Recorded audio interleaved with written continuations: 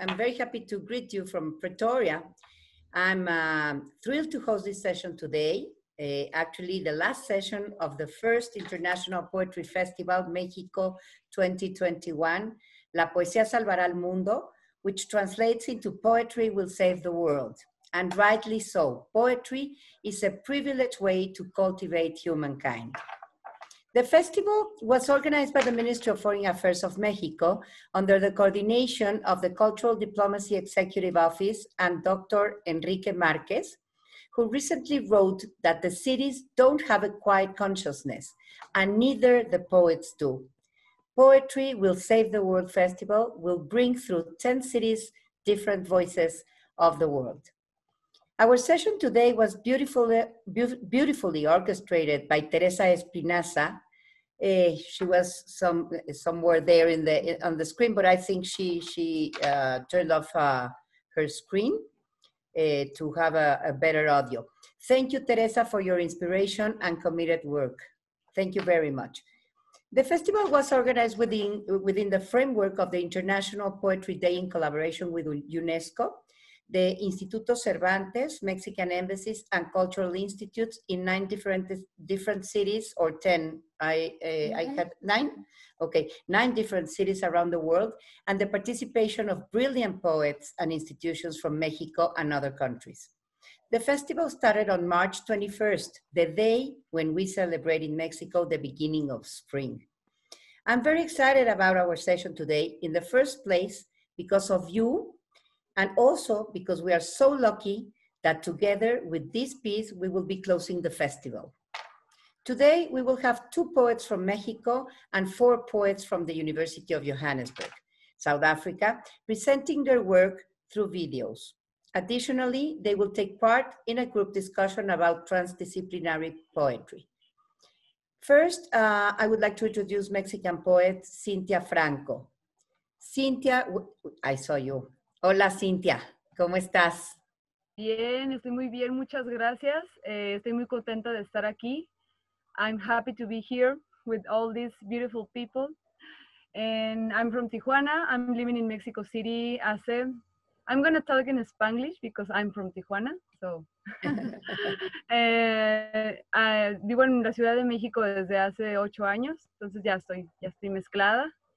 I'm a mixed poet and I do spoken word.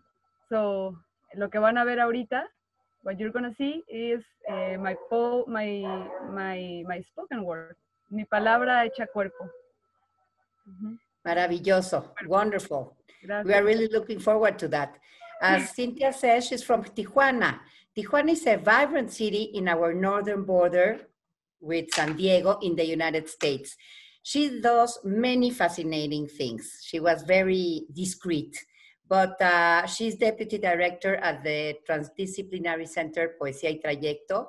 She's a multidisciplinary poet as well as, a spoken word, as she said, practitioner and instructor.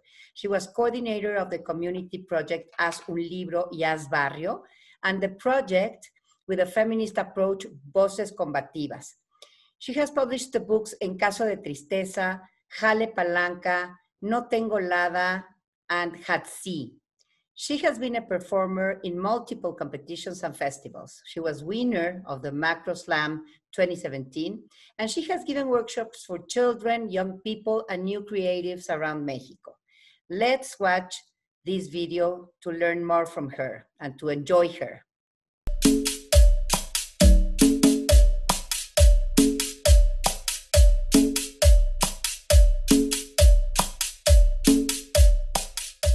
Dominar la maestría del verbo como quien le echa crema a los tacos sin medida. Porque a la lengua, a la lengua solo se le arriman cuando tiene tunas y de la tuna uno se come hasta la pulpa cuando hay hambre. Sentir esta tierra firme en la garganta, guarache que anuncia cu, cu, cu, cumbia, el meritito saludo de nuestro cantinfleo. Porque pues híjole, una cosa es una cosa y otra cosa es otra cosa. Entre tanto descubrimos el desencanto de quien es mezquino al hablar y ni con lobas anda ni aullar se enseña. Pero aquí nosotros y nosotras vestidos de terciopelo muy elegantes, nos abrimos suavecito, Suavecito, suavecito. Nos abrimos suavecito todo el flow para hacer carnada y a veces, pero casi siempre, dejamos que nos corra la conexión con la manada cuando escuchamos el...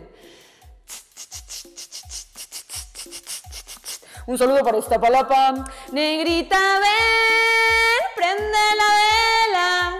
Negrita, ven, prende la vela. Pero viene, viene, viene, viene el carnal que dealer suelta su slang. Este es mi barrio, el mero río del delirio, cuando respiro y abrigo un poco de smog al corazón. Salsa hembra con un toque de quédate tantito, chuntareo, un tarareo de verso cantadito. No más por ser migrante te dejo ver hacia adelante. Un toque de ajo y ajo. Qué rica gloria de abrirse la victoria. Si a zarpazos, albores y pregones he llegado hasta mi manada, el barrio me respalda cuando no le doy la espalda. Nada. Yo nomás quiero una bailada, carnal, una slameada, que apenas son las ocho y todavía no cantamos el himno nacional. Y sí, escuchamos el alarido en el gemido de nuestro lecho. Arde el viento y nos obliga a hacer jauría. Las espinas entre las manos desdoblan nuestra palabra. In the other side, our word is like a pulque, pura aguamiel, bebida de los dioses, alambre de los que usan el sombrero. Because I don't speak in English very well, but aprendemos rápido porque en one dollar yo he repartido a tole, porque incluso somos más mexicanos que el pulque. De norte a sur nos vamos a saborear de tanto albur, porque nada sabe nuestro violín, pero todos los sones te tocamos. El acordeón para todas partes. Si preguntan de dónde venimos, diremos mejor. Pues a dónde me llevas? A tole, chile y picante nos tendrán aquí constante. Nos guía el incienso de la tribu. Salivamos la palma de Mayagüel echando chiflido, chichocho y chasquido. Desgastamos el petate. A quien nos enseña tributos con su agave o se la sabe como te la chiquero. Pa' comer aquí y pa' llevar comiendo. Estas manos parten, se reparten y disponen la semilla. O dime tú, o tú, ¿A poco nunca te han bailado, te han quitado la malilla? Nuestro verbo entrega ruda los entierros porque nosotros hablamos desde dentro, tercas como chincha, aflojamos el metate y decimos, ¡ay, hablador! ¡Compónmela en el aire! Ya si nadie nos entendió ni un cuarto de lo que estamos diciendo, pues respondemos. Entonces, ¿qué güero? ¿A poco mis enchiladas no tienen queso?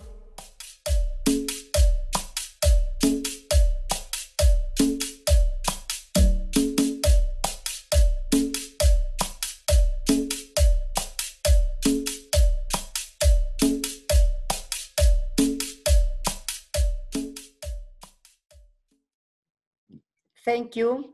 Thank you very much. Dressed in velvet, our world is like pulque.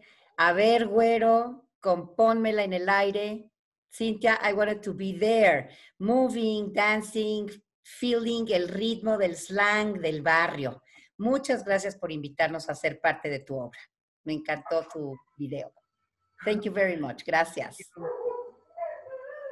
Now, I would like to introduce Mexican poet Rojo Córdoba. Rojo, ¿cómo estás? Hey, hola, ¿qué tal? Me da mucho gusto Hola. conocerla, embajadora. It's Igualmente, so me great to be here with all of you guys. Thank you for having me. Yeah, well, eh, Rojo Córdoba es un poeta eslamero. Rojo is a chilango, as we say, uh, we call the people who were born in Mexico City. And he's a poet performer, workshop leader, cultural manager, promoter, producer, and anthologist, actor, and writer, focused on exploring the possibilities of orality, hip hop, and interdisciplinary lyricism. He's one of the major advocates of poetry slams and spoken word in Mexico. His work includes poetry as well as participations in theater productions such as Monster Truck by Richard Viqueira and El Paraíso o La Vida Pasada en Limpio by Rubén Ortiz, and in films such as Hecho en México by Duncan Bridgman, Somos Lengua by Kyzza Terrazas, and the documentary Machos de César Chiquito. He also did the wiki poema Rampante sound installation at the Centro de Cultura Digital among many other artistic activities. A continuación, un video collage realizado por Rojo Córdoba.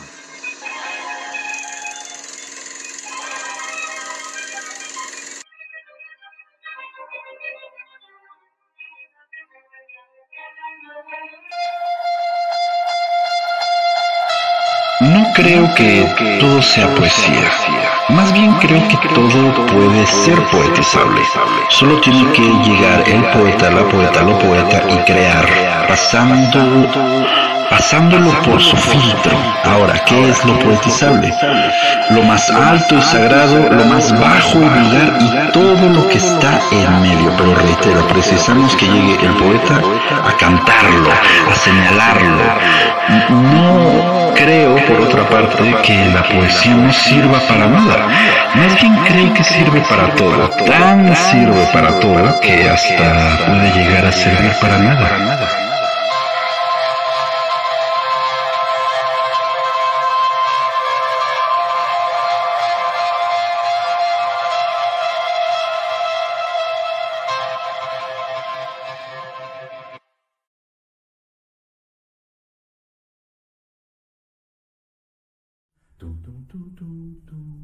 Toda la obra es como una especie de partitura donde tiene que ver la voz, el cuerpo y todo tiene que ver con este ensamble, este beso imposible.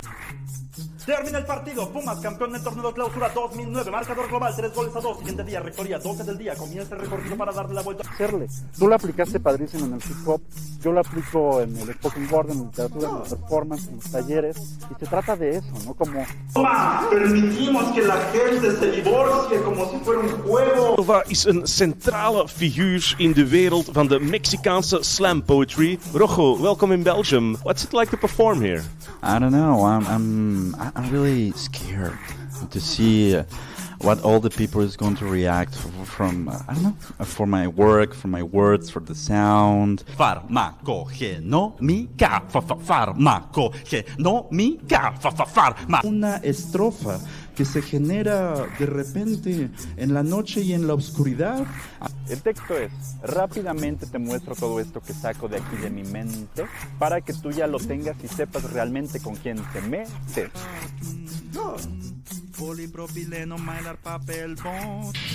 Beatbox tatuado en el flor de la piedra, la cruz y el cemento.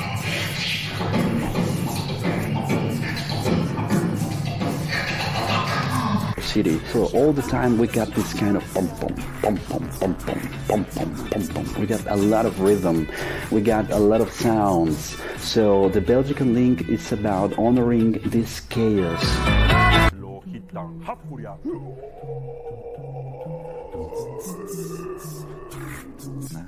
Toda henchida de amor.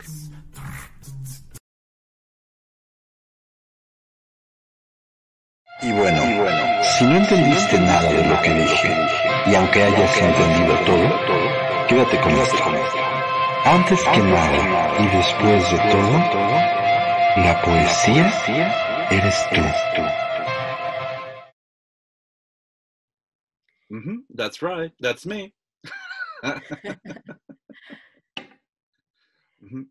Thank you, thank you, Rojo. It is fascinating the way in which you generate different dialogues, the way you use different tools. How do you go from one discipline to the other in expanded spaces? Muchas gracias, Rojo. I enjoyed very much uh, watching your video. To present the South African poets, I will give, uh, to, to, uh, sorry, um, and to introduce the South African poets, I will give the floor to Karabo Mitchali, Operation Manager and Producer Arts and Culture of the University of Johannesburg. Welcome, Karabo, how are you? Hi, Ambassador. Thank you so much. We are very honored to be here. I am great, thanks. I hope you are too. Um, so I'm Karabo Mjali, as you mentioned. I'm the operations manager of UJ Art, uh, Arts and Culture, but I'm also an artist. I was actually artistic directed. I curated the videos for three of the poems that we're going to see. Um, and just to tell you a little bit more about us is UJ Arts and Culture is a division of the Faculty of Art, Design and Architecture. And what we do is we, pre we present an extracurricular program through our Arts Academy where we present drama, poetry, dance, um, music and various other arts appreciation programs. And we are really, really honored to be here and so excited to be invited here. I'd really like to hand over to Quaz, um, who is the facilitator of the poetry program, and he can tell us more about the program and about the poems as well, because he conceptualized the whole thing for a poetry festival called the Izimbongi Festival, which we do every year that we had last year. Great. Quaz? Good to see you. Good I've to been see you reading too. about you. I've been I've been reading about you. I was watching your the the work you do is is fascinating as well. All yours. The floor is all Thank you very much, Ambassador. I, I appreciate it. Thank you very much. Um, my name is Quaz. I'm a poet and uh, the facilitator and coordinator of the poetry program for the University of Johannesburg Arts Academy. And um, the, the program that we run is a nine month long program basically uh, developed to help young poets uh, earn the skills to become better poets.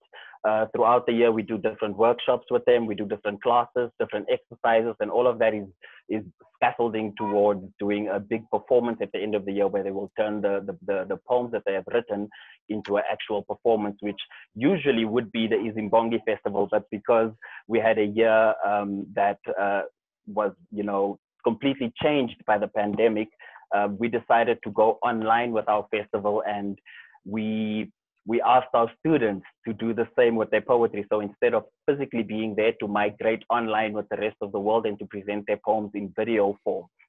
And what happened then was we decided that uh, um, we will take some of the best poems that were written specifically around the pandemic, which was one of the themes that we covered throughout the year. And uh, Ms. Karabo uh, had the, the, the creative freedom to create the beautiful videos that we are about to have a look at. Uh, I just want to introduce the young poets that uh, we will be seeing right now. Tumelo Mtimkuli, Mtimkulu, forgive me. Uh, he has a standalone poem that was really amazing. Came out, I think, two weeks ago online, and I think the entire South African poetry community that was online at the time was really stunned by the beauty of this poem. And I was so proud because he's a student at the University of Johannesburg, and he did this completely out of his um, his own doing. He, he, didn't wait for anyone to ask him to do it. It wasn't curated by anyone. And then he submitted to a slam and he actually did very well. So he is a South African writer, a poet, a visual artist born in Germiston, Johannesburg. Um, and he is currently studying towards a degree in visual art at the University of Johannesburg. And then Bonolo Masego, she is a 20 year, 22 year old student at the University of Johannesburg, currently studying her postgraduate diploma in accounting science. And her poem is titled My Mother's Home. Next up, we have Tariro Chakwakwama. She is a poet, a writer, and she's currently studying towards a master's in international law. She had a very beautiful poem. Her interpretation of the pandemic was Fairy Tale, and that's the title of her and then Fadzai Mutare, poet, painter, mentor for girls, SA. She's currently studying a BCom honors in finance and planning. Her poem is titled These Walls.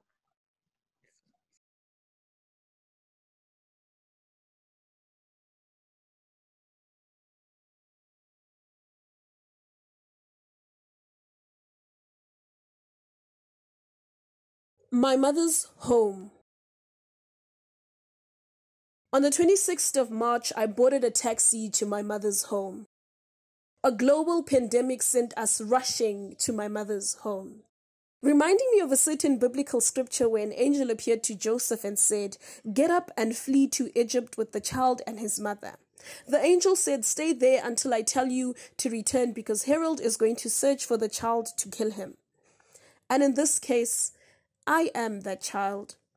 A five to six hour trip turned to 10 hours of being contained, uncomfortably sitting between two bigger men, gasping for air, trying not to breathe, music too loud, snacks everywhere, and those awkward stares. I eventually arrived. We took the mountain route with its dark, dodgy, and dangerous shadows, and thus my mother's home.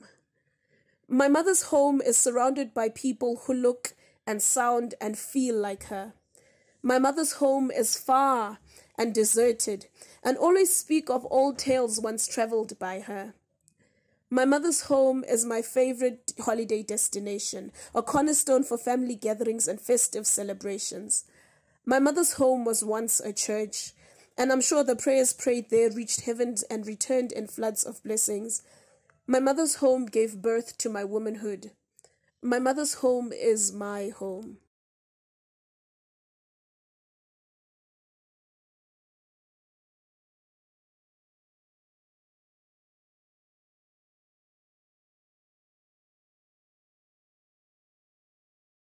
Fairy tales. This year I wanted a fairy tale. It wasn't a lot to ask for. I felt like fairy tales have eluded me in the past. The way sand sips through your fingers this year I wanted a fairy tale. Instead, I got locked down, the walls staring back at me like they are my fairy tale. Instead of a fairy tale, I know now that death is real. Death is outside, they say. We're told to stay in our homes. I always knew death was out there. Never thought it would be as close and menacing as the breath of rotting sewer pipes. And death is leaving a million fingerprints globally. Death is not an abstract principle, never was anyway. It is a pungent smell, causing anxiety to all. This is not the fairy tale I had in mind, but every day we are alive is a fairy tale bigger than what I had imagined. Every breath we draw in and the hugs we share in our minds with those dear to us is a fairy tale I'm grateful for.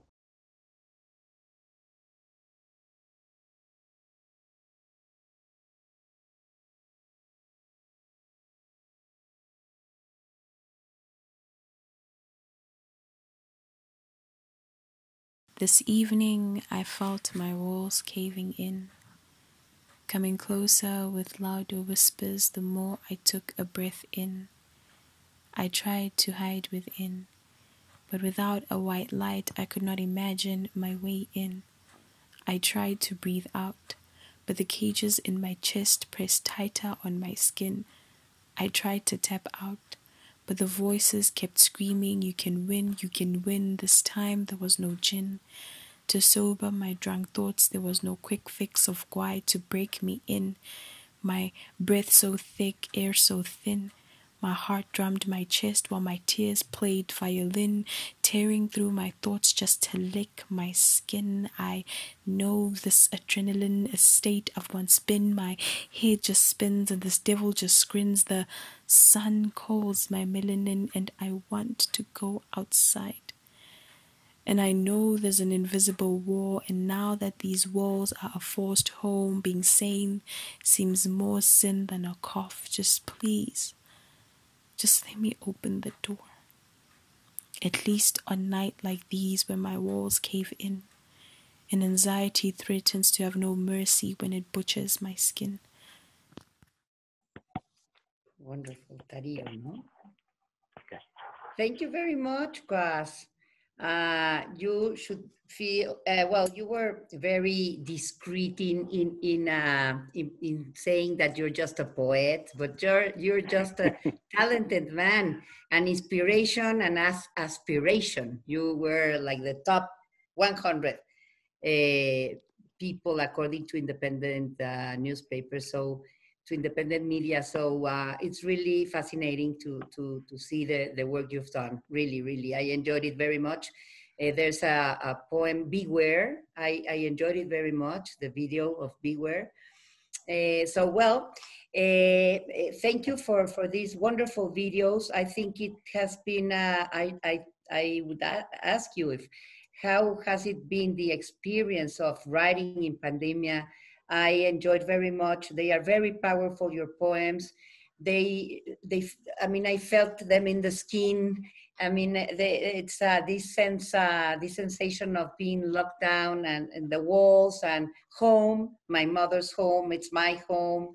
Fairy tale as well, because this is a kind of fairy tale, a little perverse, about fairy tale uh, because it's really we haven't lived something like this and it's worldwide it's very very strange and Tumelo also uh, your your poem is is very is is is, is, is strong is uh, uh, I, I, I, really was uh, very impressed with your talent, with the talent of you all.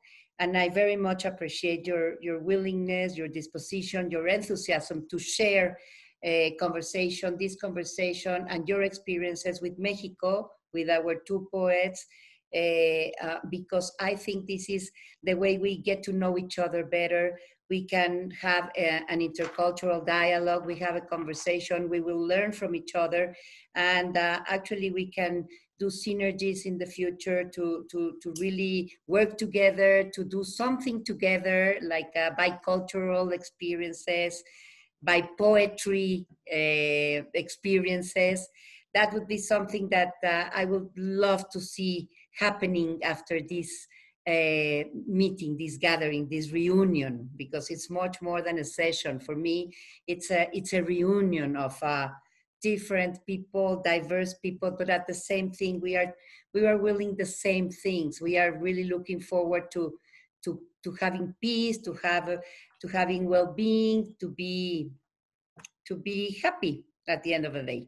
So, well, Quaz, uh, with no further preamble and, and words on my side, let's get started with this conversation. Thank you for facil facilitating this conversation with me.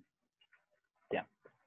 So um, what I would like to do is have the, the three poets in particular, uh, Fadzai, Tariro, and Bonolo Mashego, um, think around uh, the inspiration for the for the, the, the direction they took in terms of interpreting what the prompt was. And I just want to know from, from all three of you, um, how did you get to My Mother's Home or Fairy Tale or These Walls? And what was the inspiration behind interpreting the poem that way? Bonola, we'll start with you.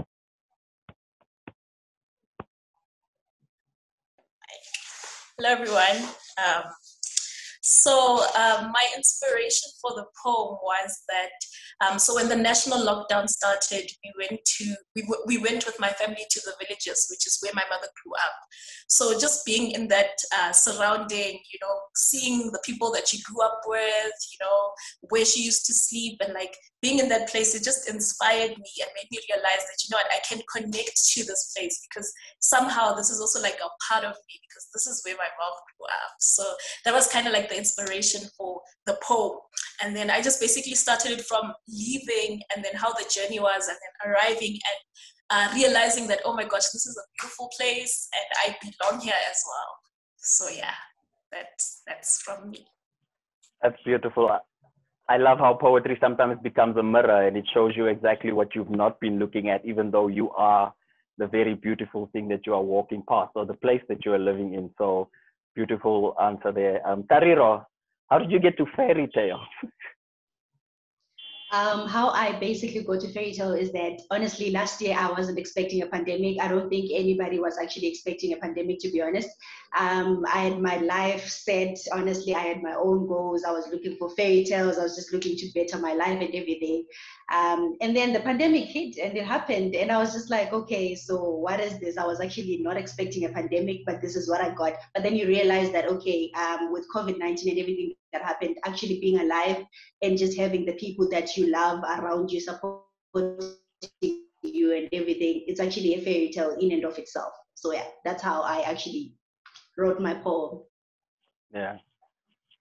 Beautiful interpretation of the of the the prompt that was given for that writing exercise.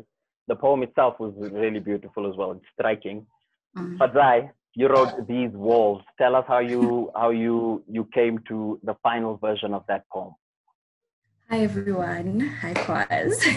Hi there. Um, I think you know the pandemic affected us all in different ways. Um, but for me personally, like Tara said, no one expected a pandemic. And last year for me was the year I was supposed to, you know, finish my undergrad, um, you know, explore, do everything I wanted to do, paint and all of that. So I'm the kind of person that draws inspiration from being around people, going places, attending my poetry classes with my fellow academy mates. And um, when the lockdown hit, I was at home. So my parents are those parents that say, if you're not going anywhere, you are not going anywhere. So they were like, um, during the level three, the level one, the level five, sorry, the level five, um, that we aren't going anywhere. So I was in the house for three months. For three whole months, I didn't leave my father's house. So um, I then um, started feeling a little drawn away from, you know, society. Um, I felt disconnected to the people that I love, the things that I love, and um, yeah, it makes me so emotional because it was so hard. So the day I wrote this poem, um, I was actually in my room and I felt like I was going to have a panic attack. And I just felt like these walls were looking too familiar. I just wanted to go outside. You know, that's why I wrote the line, um, you know, the sun is calling my melanin, you know. Um, so finally, when when I actually said, you know what, this is how I'm going to deal with it, I'm finally going to write um, it actually did help me, you know, to really start putting my emotions to paper, you know, recording, you know, my experiences of, you know, the pandemic. Um, that's actually how I managed to go through the lockdown. So yeah. Yeah. I think the, the beauty of being an artist is that everything informs us.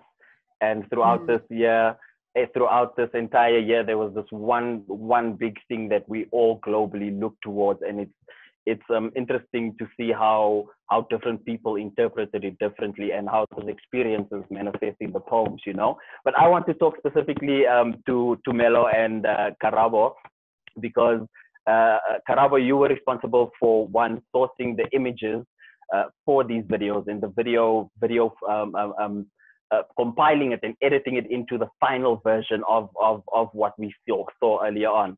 Uh, what was your thinking around that, and what how do you maneuver around taking text and then turning that into images and making sure that the images are fully representative of the text? And I guess I'm asking the same question also to to Melo because to Melo, your video is striking. Um, the poem itself can stand alone without a video because it's so well written um, and so nuanced and also so true but the video itself is so striking and those images are, are really draw you into the poem. So I want to ask the two of you, um, what is that process and, and how do you navigate between this is the right thing to do, this is the wrong image to put in, does this convey the message, does it not? Um, Karabo, can you maybe talk us, no, no, no, let's do Tumelo first and then Karabo, you can, um, you can answer after him. Um, well, with me, I, I I, I, I would like to say I think in images because I'm also a visual artist. So, and I, I basically, in my head, while I'm writing my poem, you could say I already have like an imagery of the of what I would like the poem to look like in a visual format. So I just basically, I, instead of like, because I, I've seen a lot of people tend to do this, they tend to separate their practices. Instead of doing that, I merge the two. I merge writing and also um, the visual artist in me. So essentially, I encapsulate I encapsulate both these things and and turn it into one. And yeah, I would like to say it it, it is an interesting pro- process um, sometimes I don't always, it doesn't always work out, but when it does, it really does. And I appreciate that and stuff. Yeah. So yeah. No, look, it, it worked out. We we were all impressed with with the video, and I hope that those that saw it a little earlier um, will feel the same and check out more of the work that you have been putting out online. Um, Karabo, so you had the the the the task of making these videos look good. What was your process, and also what what demons did you have to wrestle to to get the final perfect product? Um, so I, apart from the producing work that I do at UJ Arts and Culture, I am a production designer and I do AV design for theater productions. So fortunately, at least, at least the process was something that was familiar. However, it was it was very difficult choosing some of the, the, the, the videos because obviously what you see on the video is my interpretation of their poems so i think the biggest challenge that i had was to stay true to their poems and to so i grappled with that a lot when i put a video in and i was like but is this a happy moment or is it not a happy moment? So that was my biggest challenge, kind of trying to get into the poet's head and actually it's it's a tough task because I have to do another artist's work justice, you know, Right. using Yeah. other artists' images. So I try to really be creative. There are some places where I got pictures that were like quite on the nose, very clear, where it talks about death and I show a skull. But for the most part, I tried to be abstract and not obvious and, you know, like pick things that were metaphors. So in like my mother's home, um, there's a part where Bonolo talks about the journey and being between these two big men and whatnot, you know. So there, I, I, I just have an image in my head. I was like, surely that feels like suffocating. And then I started looking for images of suffocation. As opposed to yes with the hands, as opposed to trying to find a video with two big men, you know what I mean? So where I could play, I really, really played. And also, what I loved about bringing the video elements, all the videos were found on Pexels.com, was just how, in sort of metaphorically or in spiritual way, other artists, it feels like other artists were involved because these videos were a festival. And I mean, the festival, you know, we would have hired a whole lot of people. There would have been so many people involved in bringing the thing together. So I, I- I just felt like spiritually we inviting the other artists who've created this content to help us tell these stories these beautiful stories by these poets Mm. Lovely. But I mean, you did an amazing job, and um, uh, the, poets wrote amazing poems. And I think for for the nature of collaboration, you know, when when when taking what you think is your artistic input and someone else's and merging it, and you know, finding that sweet spot. I think that's exactly what we managed to achieve with these videos. And um, yeah, a big congratulations to the young poets who wrote throughout the year, uh, survived the pandemic, and at the end of all of that, managed to chisel out some beautiful poems for us. So a big thank you to all of you, and also to Tumelo, who is taking so much initiative as a young poet, younger than 20, um, doing a whole lot of amazing work as well out here in the Johannesburg poetry scene. A lot of people these last few weeks have been talking about his exceptional writing. So um, I would like to say to you guys, you are a beautiful representation of what the South African voice looks and sounds like.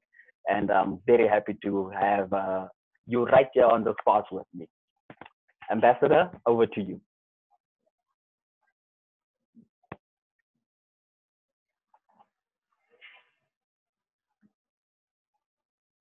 you're on mute ambassador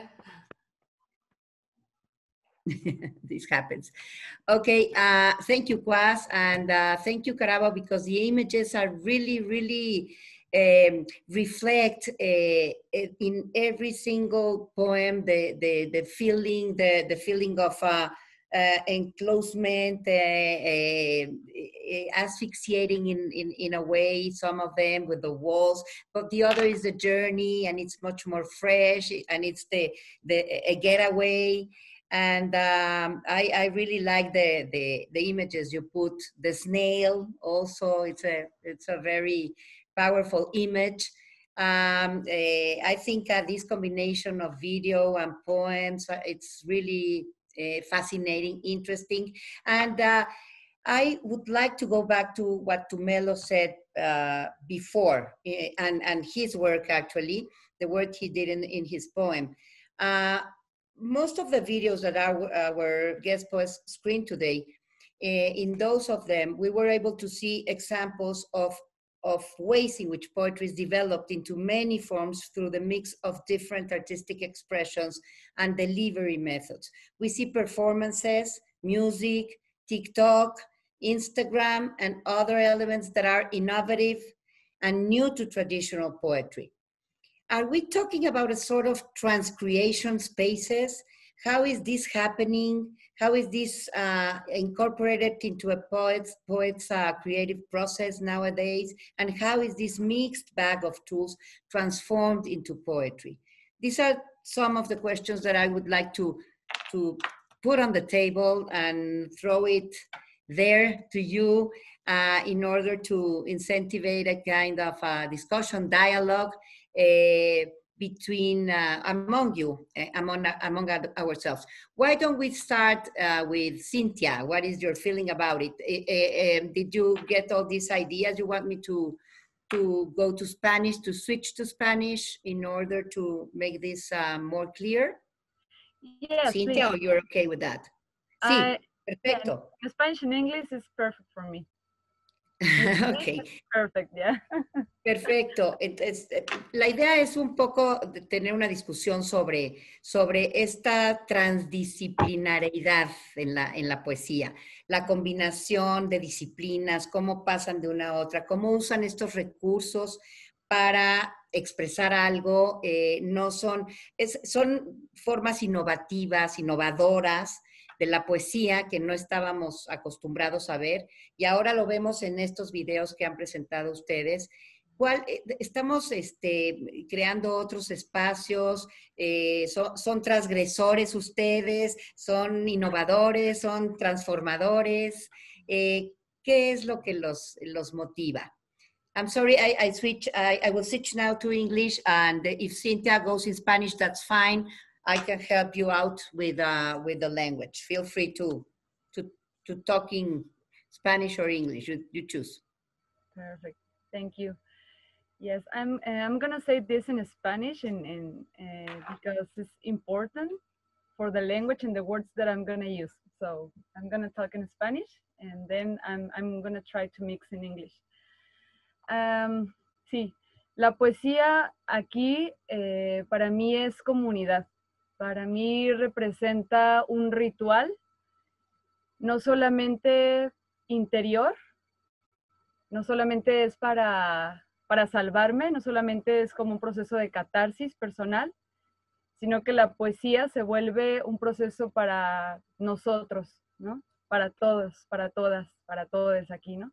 Entonces, en ese sentido, eh, sí rompe con las barreras de, del interior, ¿no? Sí rompe con, con el solamente como en este espacio donde me hablo a mí, sino que también sale a la calle, ¿no? En ese sentido, pues eh, vamos a escuchar también en lo que presenté al principio, que es una poesía que usa lenguaje muy callejero.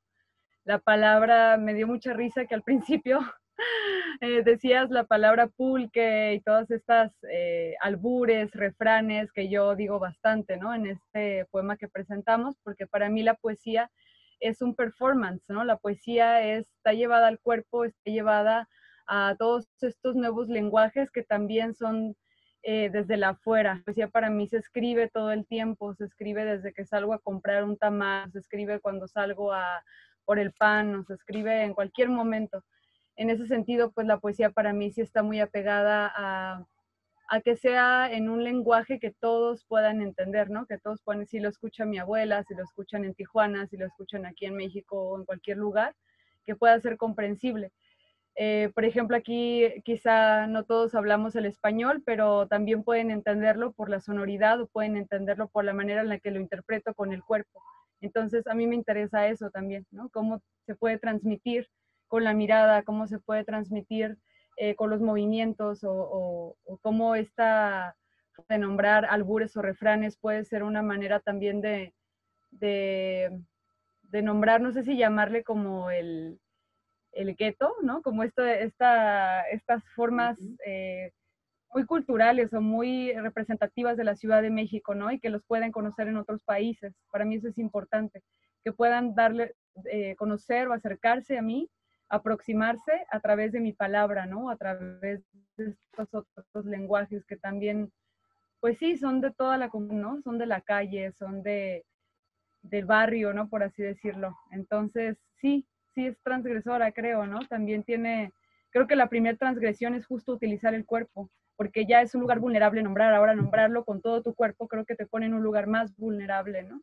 Entonces aquí sí mucho esta manera salvaje de hacer aplicado todo y, es performativa, ¿no? Pero también es eh, pues sí, ¿no? Es un acto que así nace, ¿no? Porque nace también siendo slam, nace cualquier lugar, nace para cualquier persona y nace en la calle, ¿no? Nace en cualquier momento, aquí mismo puede ocurrir, ¿no? En este instante. Entonces, sí, ¿no? En ese sentido creo que la, pues rompe, rompe las barreras y, y hablando particularmente de la pandemia, pues sí, En efecto, creo que no lo esperábamos, pero también creamos nuevas maneras de comunicarnos creando slams virtuales, ¿no? Si no podíamos hacerlas en la calle o no podíamos hacerlas en espacios públicos como se acostumbra, eh, acostumbramos aquí. Y también esto se vuelve un momento de escucha, ¿no? Ahora mismo estamos mezclando lenguas, yo estoy en español, pero también es una manera de, ¿no? Este mismo provocar esta charla ya es ya es un, un, momento de escucha, ¿no? Ya es un momento de acercamiento y de proximidad, que es lo que busca la palabra, ¿no? Es lo que busca la poesía, el poder nombrarnos. Entonces creo que hasta sería bueno hacer una recopilación de todos los textos de pandemia que se generaron. Está bien interesante porque en estos slams virtuales que estuvimos organizando, justo esto se, revelaba, ¿no? Como estas formas de catarsis constantes que surgían en el AD entonces, sí, o sea, como que era, era importante para nosotros o para mí también seguir generando estos espacios, ¿no? De la palabra, eh, a través de la virtualidad, o de la forma en la que sea posible, ¿no? La poesía siempre va a ocurrir.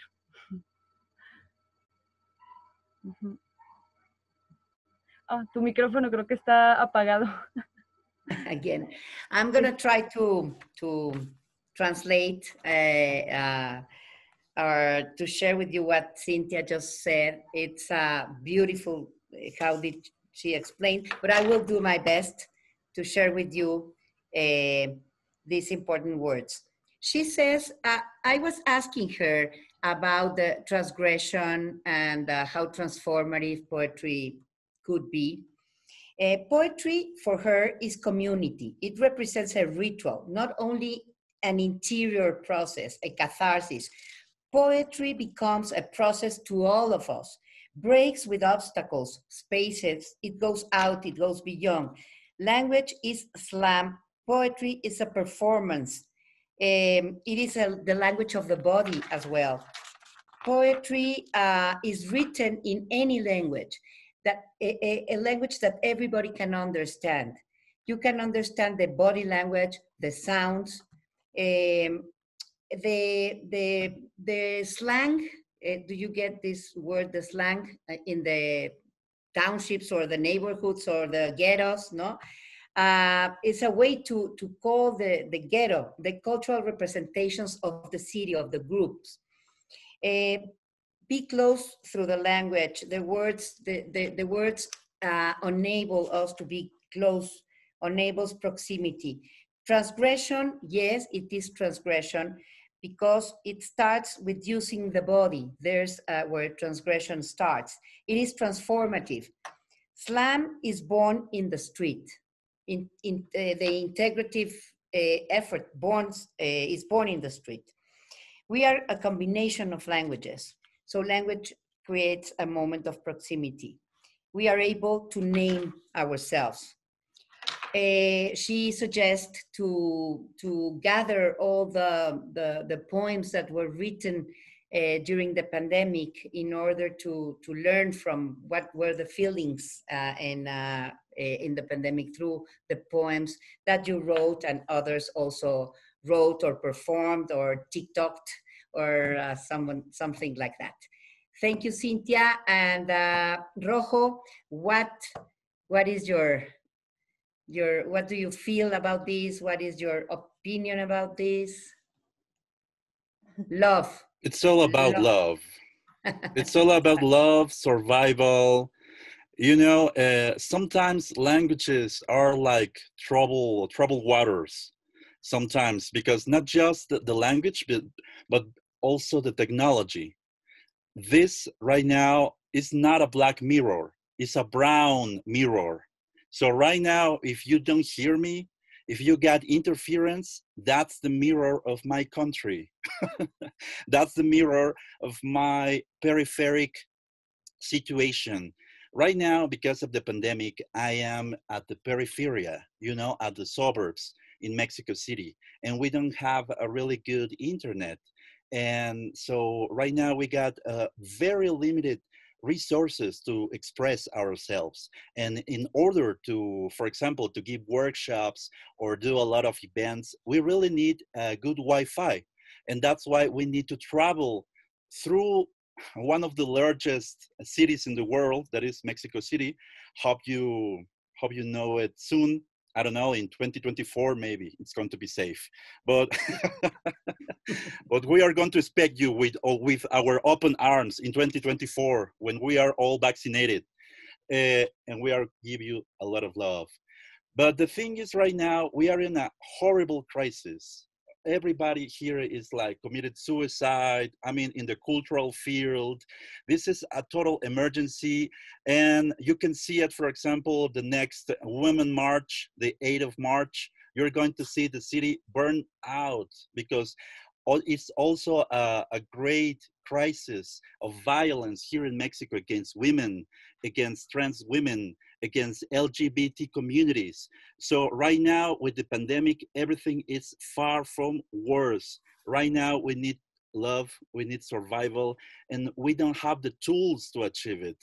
Right now in Mexico, we got 2.5 millions um, children's left, and they have left education because they don't have access to internet they don't have wi-fi because of the pandemic because of the pandemic because of the lack of work of their parents. And right now we are in the state of emergency here in mexico in general in mexico city in particular.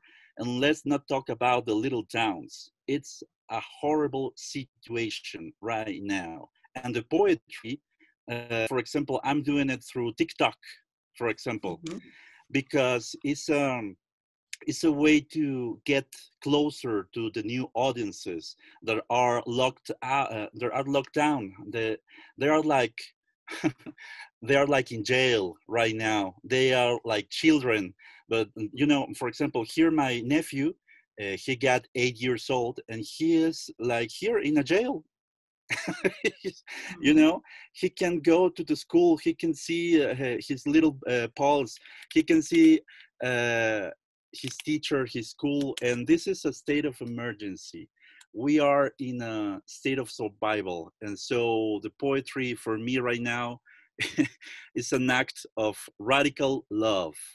We need radical love and even though we don't have a really good wi-fi really good wi-fi we need love and that's my message. We really need love and food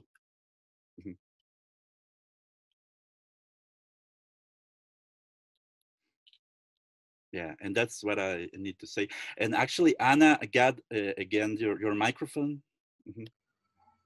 no no no i'm i'm bad at doing that i haven't oh, learned don't worry I haven't learned the lessons of pandemics. I get so excited that I forgot forget to to turn on my. It's a new. It's a new reality. Exactly, and we have to to get used to it, but take advantage of it as well as you say. I mean, poetry is radical love. I totally coincide with you, and that is why the title of uh, this festival is so fortunate. No, uh, poetry will save us, and I agree that we have to go back to our values, to our uh, reflection, uh, love, solidarity. So we are for that definitely. And this group uh, are we are here to do that, to exchange views as you did now. Um, uh, do you want to to to facilitate um, the to give the floor to to to the poets? Uh, Carago, um, I mean, as you feel, this is really very yeah. informal. The idea is just to to share our thoughts, our feelings. Yeah. Uh, what is the motivation? Yeah. What does uh, what Rojo and Cynthia say that motivates you? I mean, what reflection comes or thoughts? Whatever you want to say. Um, I'm very intrigued by the idea of poetry will save us. Um, I think, if anything, I'm a perfect example of exactly that. Like choosing to become a poet and avoiding absolutely everything else that my friends back home went through, people my age, um, people in my community. Um, but that that could have been painting as well. It could have been ballet. It could have been uh, uh, dancing. It, it you know, uh, for me the beauty is finding the healing in the art that you are practicing, but finding the healing for yourself and I think the the what what this year in particular has has has taught me in terms of how I'm reading poetry or, or consuming poetry that these are not just words pasted together in the perfect order. these are pieces of a person's life, their soul, their experiences, and those bits are represented in these words that are on this page. And I think the importance of, of, of using art also as an outlet in situations um, like, I mean, Mexico City, Johannesburg City, Cape Town City, um, Rio de Janeiro, really any of these, these, these um, cities that are vibrant and full of life.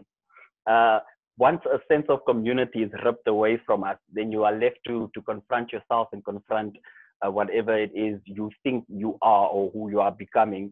Um, I think poetry becomes a perfect vehicle for you to navigate through that path. Um, poetry asks you if you are writing poetry about LGBTQ, um, the LGBTQ community, for instance. When you are writing the poems, that poem asks you, where do you stand? Are you guilty of the things that you are writing about? If you are writing a poem about racism, uh, if you're writing a poem about misogyny, the poem itself, no matter what you say, before you write the poem, the poem asks you, where do you stand? And I think it's a beautiful way of interrogating yourself.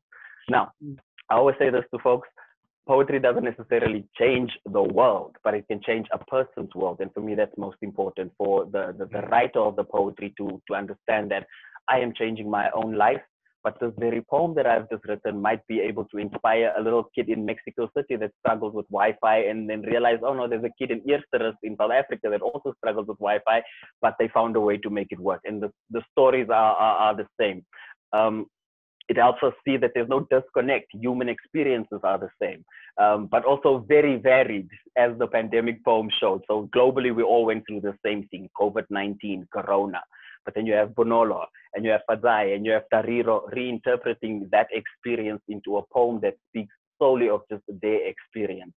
And um, I'm really interested also in maybe asking, you know, the poets here in the house in particular, uh, um, Tariro, Fadzai, Bonolo, and, and, and uh, Tumelo, has this time in particular being away from from the world as it is, you know, the, the world in its normal sense, has that in any way influenced how you are writing or is it even changing how you are approaching the work that you are doing? Or are you starting to see the value of the work we are doing? Because i'm telling you this during this uh, pandemic because we couldn't go anywhere else all i had to do was read all the poetry books i've bought over the years and haven't read. And then suddenly realizing that those that i have read I am finding new stories and I'm finding new meaning because life has changed and given me new experiences. So I would like to know from the poets themselves um, how this, this, this time that has passed has influenced your writing and, and, and how you are consuming other people's writing. Tari?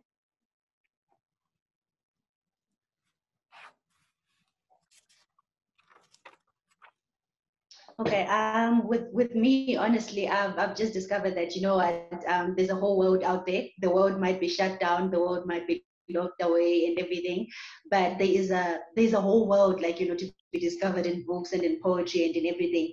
Um, but I think the downside, as much as I'm writing poetry as well, I've come to a, a sense of appreciation that okay, you know what, um, the the pandemic situation is actually like you know if affected the way I write and um, I did go through like you know a bit of a writer's block situation. I'm still trying to navigate my way out of that as well because I feel like um, pre-COVID, honestly, like I I, I, under, I underestimated um, the fact that you know with everyone out there and with the whole normal situation that was there pre-COVID, that's where I actually got my inspiration from, you know, from things that were happening in the world, things that were happening around me. And then came COVID, you know, all this negative situation. And it's like, okay, um, what do I have to write about except the fact that I'm suffocating, except the, the fact that, you know, um, I, I wanted something else. I wanted a fairy tale. And now I got something else that is not like a fairy tale, you know. So it, it kind of has impacted my writing in that way and in that sense. And also on the flip side, I do appreciate more the fact that, you know what, um, like what you guys have basically said, that, you know what, poetry is very important and um, it has the power to change the world. Yeah. Mm-hmm. Tumelo, what do you think, brother? Um, well, with me, um, um, or basic going back just to echo what you said, um, I I also believe that art, like or poetry, doesn't necessarily change the world. It can start conversations amongst people, and people have the power to change the world, you know. And but for me, um, writing uh, during the time of COVID, it was more of an exercise in uh, in self love, if I can say, and basically self explore self exploration, and just basically because you you in a way you were literally forced to sit with yourself, you know, and sit with all your thoughts without um, there being the outside world to, di- to to disturb you or take you out of that.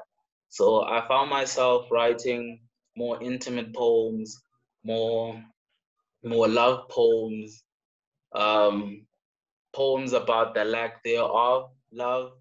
Um, so basically, I can say it hasn't necessarily changed the way I write. It has almost um, encouraged me to write more about um, what I feel inside instead of looking outside because I feel as though if I can deal with myself and if I can work through um, the internal the, the internal battles that I go through, I can be able to face the world more honestly.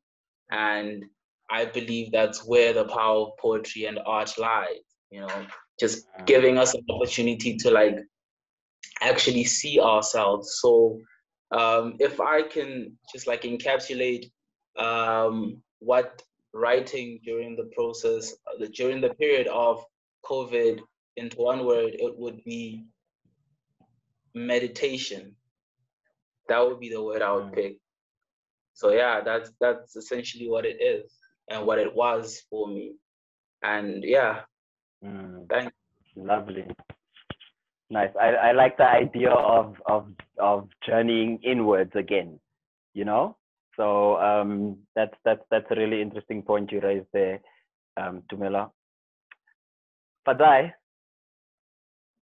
how has poetry changed for you? I know you and I uh, have a a a poetry WhatsApp situation where you send me poems and I listen and I'm like, oh, this is amazing, or no, and and I I find that um, you are someone that's constantly writing and constantly asking for um, for feedback on your writing as well, which is a very important thing you need to do. But how much of of the outside influence, you know, so like someone like a editor, for instance, or like an experience with with a friend or a partner or a parent outside, how much of that is reflected in the poetry that you've been writing recently?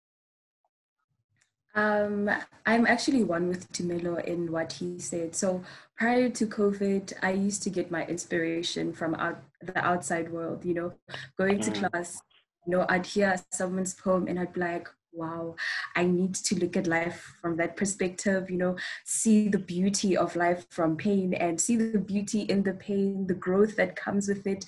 Um, but now when I was now locked down for three months. You know, I had less interaction with people. And like Tumelo, it forced me to really now slow down because life was going very fast prior to COVID. Um, it forced me to really slow down and ask, who am I? You know, um, where am I really going as a writer? You know, um, why do I write the way I do? And for me, I started realizing that I started when I was a writer or prior to COVID, when I would write prior to COVID, um, I would write poetry putting myself in the shoes of someone else and I would tell their story and narrate what they're going through as if it is me.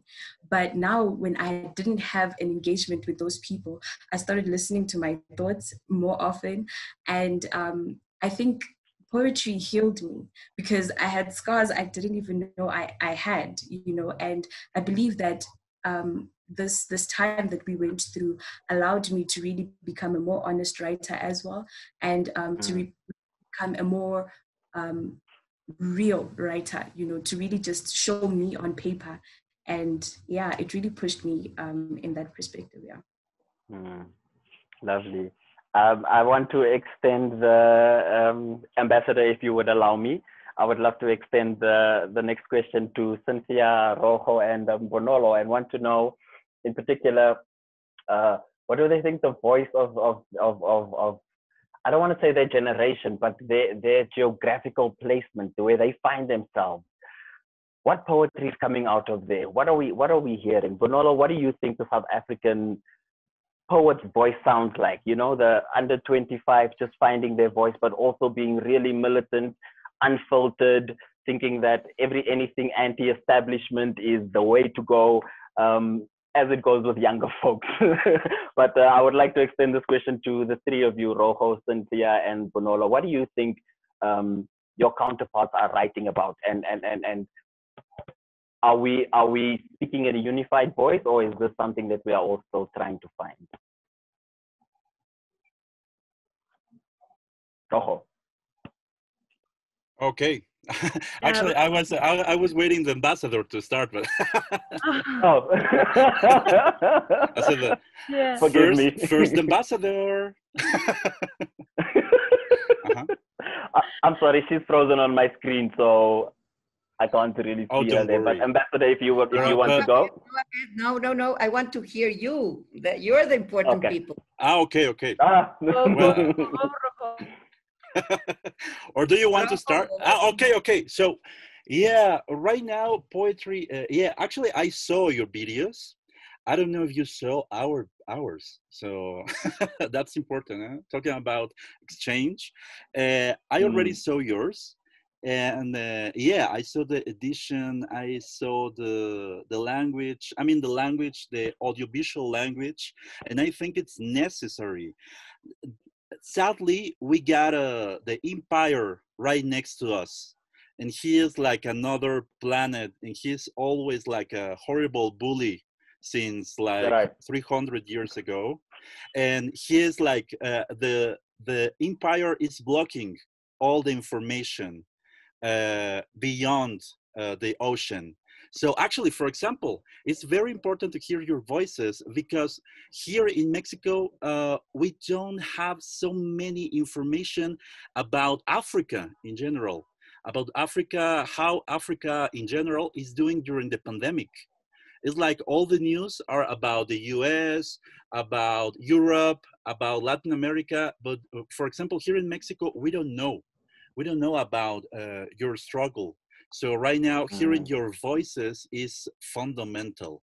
So please just send me send me more videos because actually since 2009 i got a a, a facebook group with a lot of uh, slam poets from all over mexico and all over the world. Uh, so if you want to uh, send me more of your poems uh, it will be great to generate uh, a larger bridge because we really need to hear more from uh, from africa uh, directly from Africa. No, Mm. actually, because in Mexico we are like two years ago, like or one year ago, we are starting to know about the Afro-descent Mexicans. That's Mm. really, really, really strong. But that's the level of our blindness with Africa. Mm. It's like we don't know the other roots that we got. That is the African root uh, that actually genetically we got more uh, genetical material from Africa through Spain. Actually, that, that's the scientific uh, point of view. We can talk about that later. But definitely, culturally, Africa is in our cultural def. Definitely, I mean, with hip hop, with salsa, with uh, with cumbia, you know, with all the Mm. music. It's definitely in Mexico. It's part of our identity, but we really need more from you. We really need to hear more from you. So this is, I think this is like, I will hope that this is like the beginning of a larger bridge because we really, uh, again, we need, we really need to hear more from you, directly from you. Mm. and continue with this idea. Thank you, Rojo. Thank you, Rojo. I, I let Rojo talk first because it's something important. Need to hear you more because I don't know about your poetry. Indeed, like I see the videos and and it's like, oh wow, Quaz and Bonolo and I, I don't know about your poetry, and so I'm, I'm gonna say the same thing that Rojo Cordova. Like, we want to know more because we are um, gestores, and, and we are like uh, we do a spoken word, but organize events or virtual slams, slams virtuales, about other poets in the world. So uh, it will be wonderful that your voices can be here with us and we can invite you. So it will be great. And so um, about the poems, about the videos, uh, I love this. I, I love the videos because I do some, some, uh, hice algunos videos también eh, durante la pandemia eh, y me gustó la imagen de um, video poem, poem visual poem, like a visual poem. You can hear the words and you see the words in, en, en, imágenes, ¿no? Tú lo ves como si fuera una danza. Entonces, it's a meditation for me. Your videos and your poetry, it's like a meditation. I see it and and I feel like a breath, like like slow and something like that. Uh-huh. I, I feel something that we need in, in, in these times that is breathe and um, uh, a, a harm, something, something that can, algo que nos pueda contener, algo que nos pueda abrazar, ¿no? Necesitamos un, una especie de arrullo, entonces hay, creo que su poesía es un arrullo, es algo interior, es algo cálido, es algo que te abraza, ¿no? Y es un proceso que estábamos viviendo durante la pandemia, ¿no? Y que tiene que ver justo con el self-love, like, I'm going to give me love with poetry and give love to the world with my poetry, with I feel, with my love for the world, like, like that. And, and thank you for being here. Like, I'm excited with your voices and, and, and, and I'm excited to learn about you, about all, all of you guys, all of your poets. thank you. Oh, That's what lovely. I think. That's what I think. Bonolo, do you want to um, maybe just give us what you think your our, your reflection is rather of the voices we are hearing in poetry and uh, what it is you are drawn to? Um, okay, I don't know if I'll be answering your question, but I'm just gonna answer based on what I've been hearing. Um, so I, I personally, I have, um, how can I say, like experienced um, poetry from like international poets before. Um, I, I once attended Poetry Africa, which is like this uh, poetry event in Africa where international poets come through. So, but it's also it's always nice to like expand and hear, you know, more poetry from different places in other different languages. Like even if we don't hear, like I don't hear Cynthia, but you can see from her reaction, but like she's angry now or she's happy. So like poetry communicates, like she was saying, you know, in more than just words. So expanding, you know, it's always a good thing. You know, just kind of getting poetry from different places. I don't know if I'm answering your question, but this is No, my answer. no, you- you are. you are. I think I think we all agree that um, there are so many different voices telling so many, sometimes of the same stories in different ways. You know, and it's it's lovely to to be able to experience um, the same scenario in different voices. And like you said, Rojo, um, the best way to experience Africa and the best way to experience any country really that you don't know is by speaking to the people directly.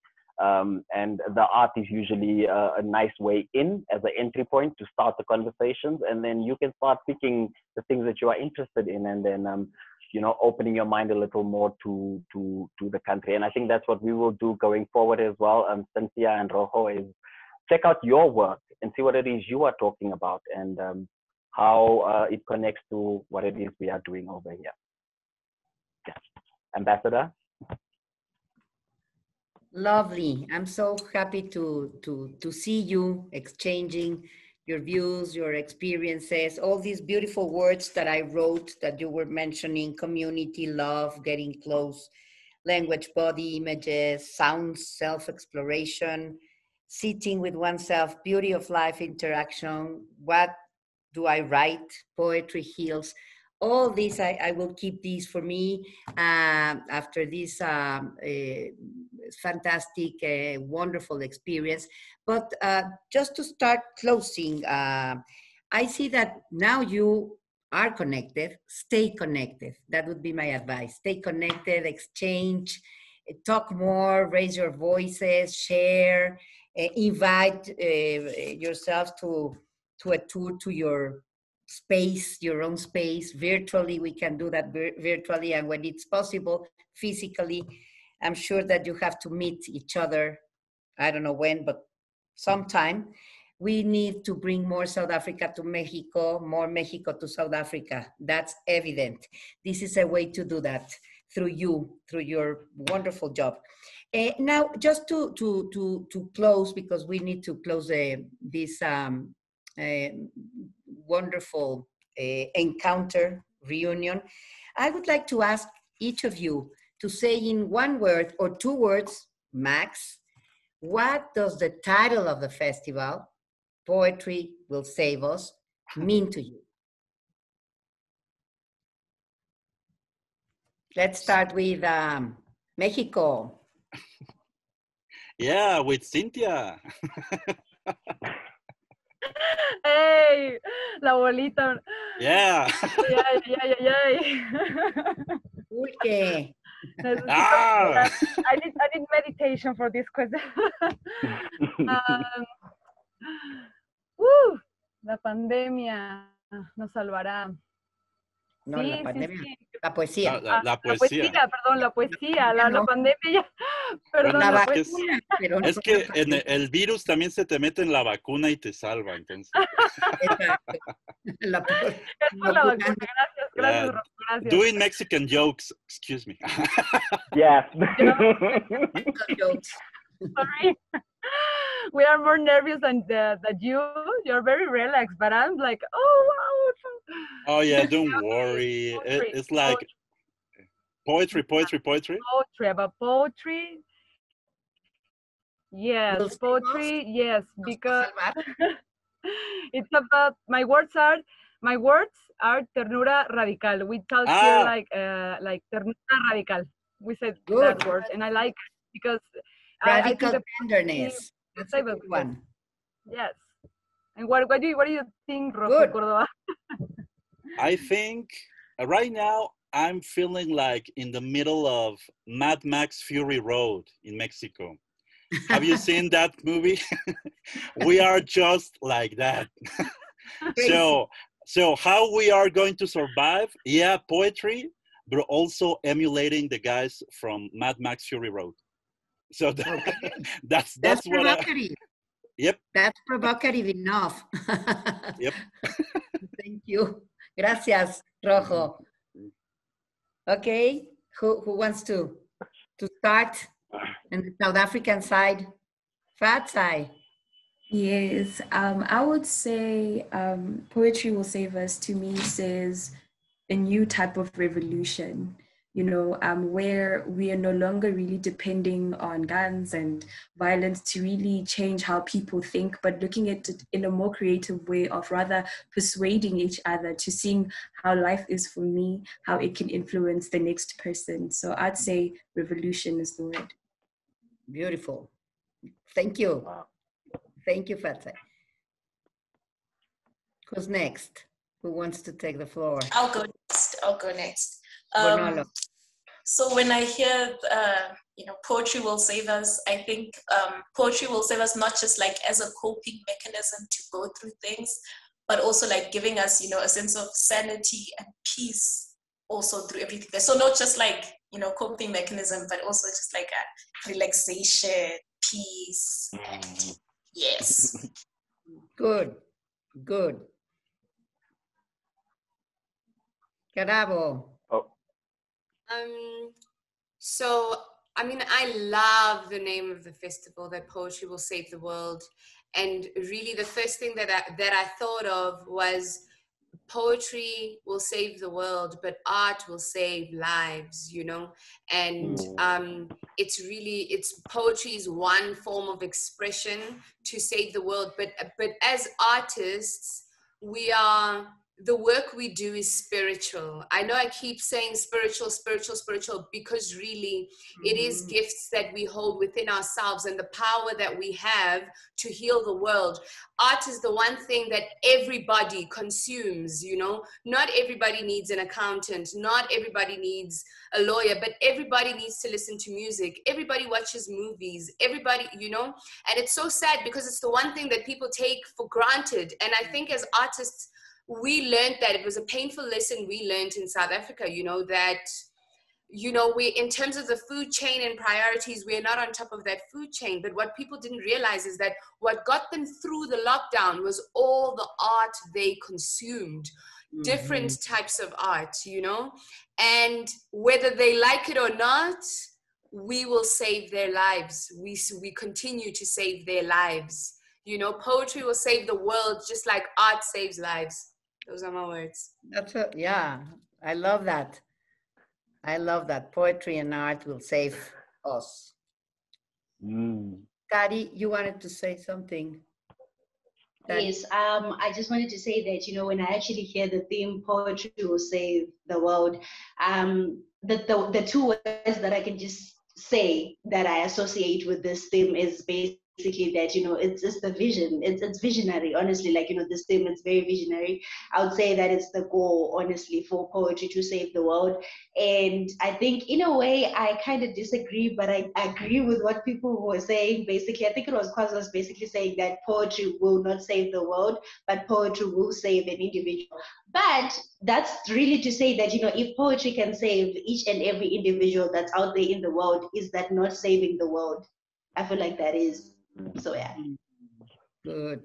Wonderful. I hate I hate that she's right. I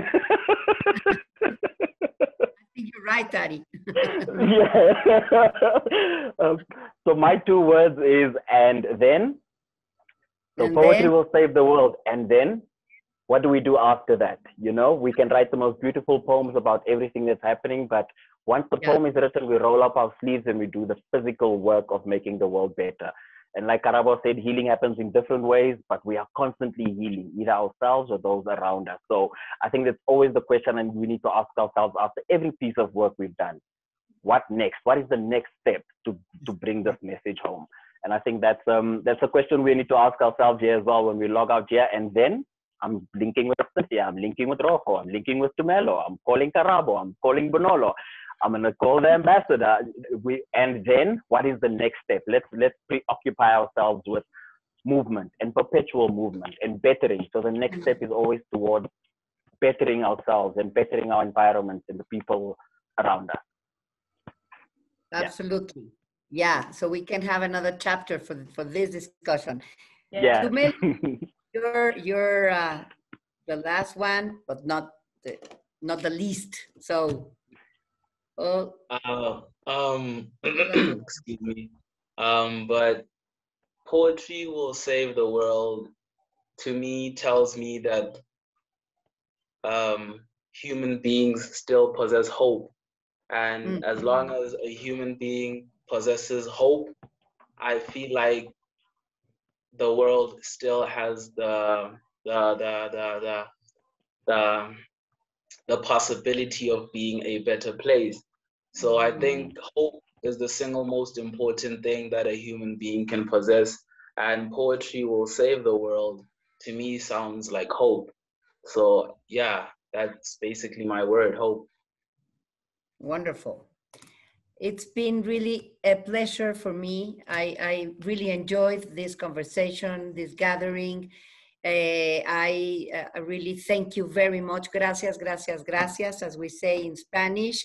I enjoyed it. So let's uh, think about performing, writing, listening, dancing, uh, TikToking, uh, videos, whatever means uh, to communicate between you, among yourselves.